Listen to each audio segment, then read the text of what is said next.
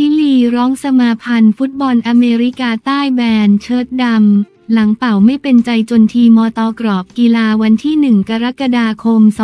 2567 9นาฬิกา 17 นาทีสหพันธ์ฟุตบอลชิลีได้ยื่นคำร้องถึงสมาพันธ์ฟุตบอลอเมริกาใต้ให้แบน วิลมาโรดาน ผู้ตัดสินชาวโคลัมเบียฐานทำหน้าที่ไม่ยุติธรรมและตัดสินผิดพลาดหลายหนสหพันธ์ฟุตบอลชิลี ได้ยื่นคำร้องถึงสมาพันธ์ฟุตบอลอเมริกาใต้ คอนเมบอล ให้ลงโทษระงับการทำงานของวิลมาโรดาน ผู้ตัดสินชาวโคลัมเบียด้วยข้อกล่าวหาว่าเชิ้ตดำรายนี้ทำหน้าที่แบบไม่ยุติธรรม และตัดสินผิดพลาดหลายหน โรดานทำหน้าที่ในเกมโคปาอเมริกา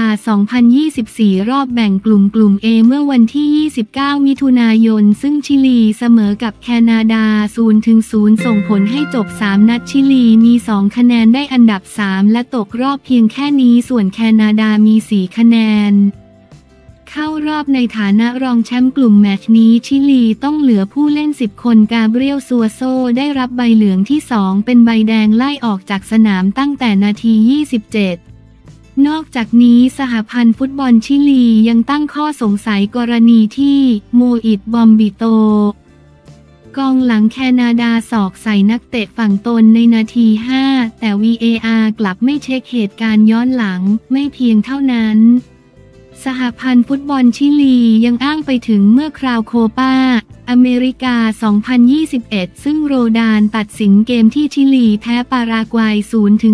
0-2 ในรอบแบ่งกลุ่มแล้วชี้ว่าเชิดดำรายนี้ไม่เป่าจุดโทษให้ทีมตน ด้วยเหตุนี้ทางองค์กรจึงขอให้คอนเมโบแบนโรดานแบบไม่มีกำหนด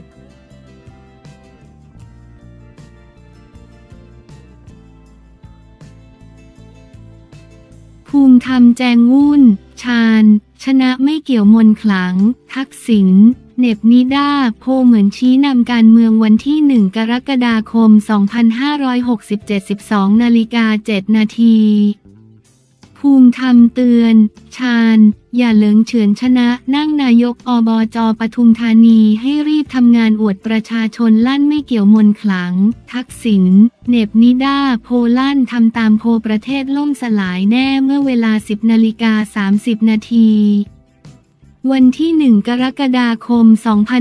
2567 ที่สหกรณ์การเกษตรในเขตปฏิรูปที่ดินปากช่องอำเภอปากช่อง จังหวัดนครราชสีมา นายภูมิธรรมเวชยชัย รองนายกรัฐมนตรีและรัฐมนตรีว่าการกระทรวงพาณิชย์ ในฐานะแกนนำพักเพื่อไทยให้สัมภาษณ์ถึงผลการเลือกตั้งนายก อบจปทุมธานีที่นายชาญพวงเพชร เอาชนะพลตำรวจโทคำรณวิทย์ผู้กระจ่างจะส่งผลสะท้อนการเมืองถึงระดับชาติได้หรือไม่ว่า อย่าพูดถึงขนาดนั้นการเลือกตั้งมีแพ้มีชนะครั้งนี้เราทำงานอย่างดีที่สุด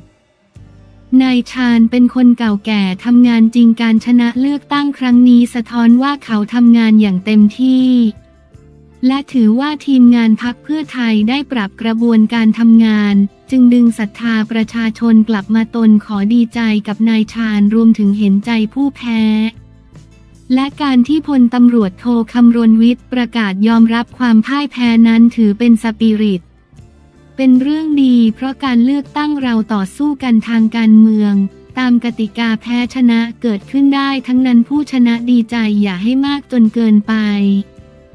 แล้วตั้งใจทำงานผู้แพ้ก็อย่าอาฆาตยอมรับความพ่ายแพ้แล้วช่วยกันทำงานใครครองใจประชาชนได้มากกว่าคนนั้น ก็ชนะเลือกตั้งครั้งต่อต่อไปได้ผู้สื่อข่าวถามวาดปทุมธานี เป็นจังหวัดปริมณฑลที่พักเพื่อไทยพ่ายแพ้ในการเลือกตั้งใหญ่ ได้สอสอมาคนเดียวการชนะครั้งนี้ส่งสัญญาณไปยังพื้นที่ปริมณฑลอื่นหรือไม่ นายภูมิธรรมกล่าวว่าส่งสัญญาณว่าเราทำงานเอาใจใส่ประชาชนมากขึ้น ครั้งที่แล้วเราเสียที่นั่งสอสอแต่ครั้งนี้เราได้ที่นั่งคืนในขอบเขตทั้งจังหวัด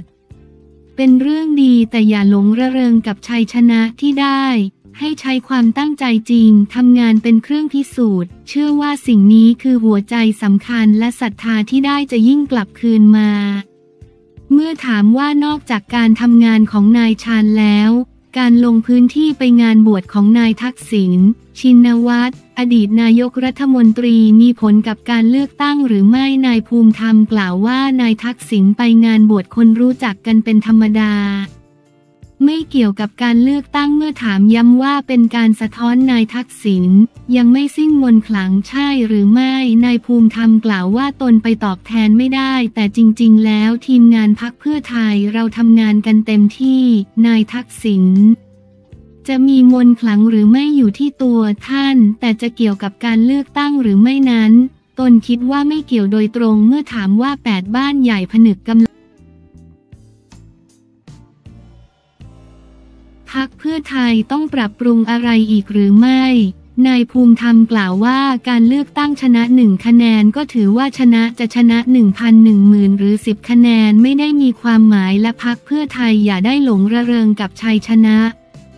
เราต้องเคารพทุกเสียงของประชาชนทำงานเอาประชาชนเป็นที่ตั้งไปเรื่อยๆ คนที่ไม่รักก็กลับมารักได้คนที่เฉยๆ ไม่ลงคะแนนก็มาลงคะแนนได้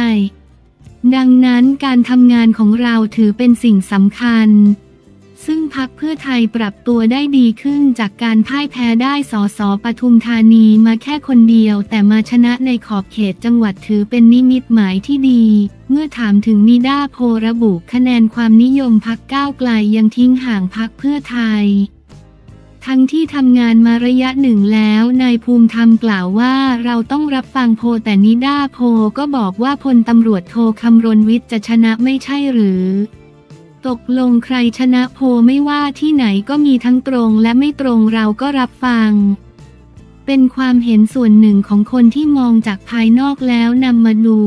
แต่อย่าไปให้ความสำคัญของโพเป็นผู้ชี้เป็นชี้ตาย อย่างที่นิด้าโพบอกว่าเราแพ้พักก้าวไกล เหมือนที่บอกว่าพลตำรวจโทคำรณวิทย์จะชนะพลตำรวจโทคำรณวิทย์ก็แพ้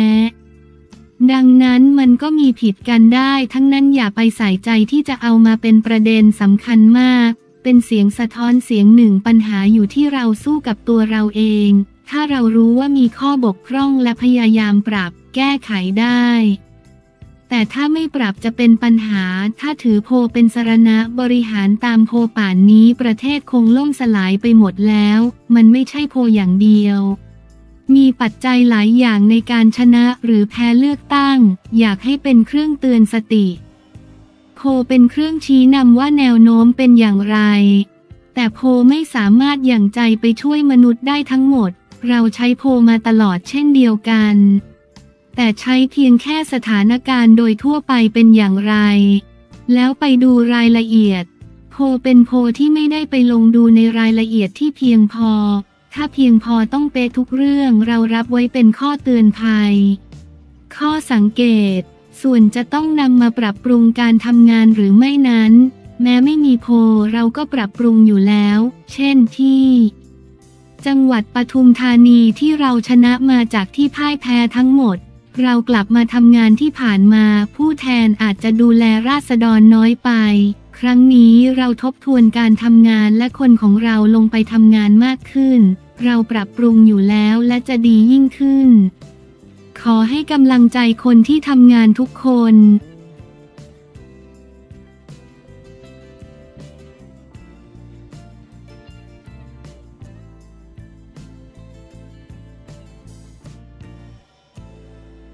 วงการแบดมินตันเศร้าจาง จื้อเจียขนไก่ดาวรุ่งจีน วัย 17 ปี เสียชีวิตจากหัวใจวายเฉียบพลัน กีฬาวันที่ 1 กรกฎาคม 2567 9นาฬิกา 37 นาทีจากเหตุการณ์นักแบดมินตันเยาวชนวัย 17 ปีชาวจีน จางจื้อเจีย เกิดอาการหัวใจวายเฉียบพลันจนล้มลงระหว่างแข่งขันในศึกแบดมินตันประเภททีม รายการ BNI Badminton Asia Junior Championships 2024 ที่ประเทศอินโดนีเซียก่อนถูกนำตัวส่งโรงพยาบาลล่าสุดแบดมินตันเอเชีย และสมาคมแบดมินตันแห่งประเทศอินโดนีเซีย ได้ออกแถลงการยืนยันว่านักกีฬาวัย 17 ปีได้เสียชีวิตลงแล้วเมื่อเวลา 23 นาฬิกา 20 นาที ตามเวลาท้องถิ่นประเทศอินโดนีเซีย จากแถลงการของสององค์กรระบุว่า จางจื้อเจียนักแบดมินตันชายเดี่ยวจากประเทศจีน ล้มลงในสนามระหว่างการแข่งขันในตอนเย็น และถูกส่งตัวไปโรงพยาบาล ก่อนที่เขาจะเสียชีวิตเมื่อเวลา 23 นาฬิกา 20 นาที ตามเวลาท้องถิ่น จื้อเจียกำลังลงแข่งขันรอบแบ่งกลุ่มกับนักแข่งชาวญี่ปุ่น เมื่อเขาสุดตัวลงแพทย์ประจำสนามและทีมแพทย์ได้เข้าดูอาการ เขาถูกนำตัวขึ้นรถพยาบาลที่สแตนบายในเวลาไม่ถึงสองนาทีและถูกส่งไปยังโรงพยาบาล แบดมินตันเอเชีย PBSI และคณะกรรมการการจัดการแข่งขัน รู้สึกเสียใจอย่างยิ่งและแสดงความเสียใจอย่างสุดซึ้งต่อครอบครัวของ จางจื้อเจีย และสมาคมแบดมินตันแห่งประเทศจีน วงการแบดมินตันโลกได้สูญเสียผู้เล่นที่มีความสามารถไปสำหรับจางจื้อเจียถือเป็นนักแบดมินตันชายเดี่ยวฝีมือดีโดยปัจจุบันเขารั้งอยู่ในอันดับ 8 ของ BWF Junior และเพิ่งคว้าแชมป์ในรายการ Dutch Junior International 2024 เมื่อวันที่ 9 มิถุนายน ที่ผ่านมารวมถึงคว้ารองแชมป์ในการแข่งขัน เยอรมัน Junior 2024 เมื่อวันที่ 25 มิถุนายนที่ผ่านมาอีกด้วย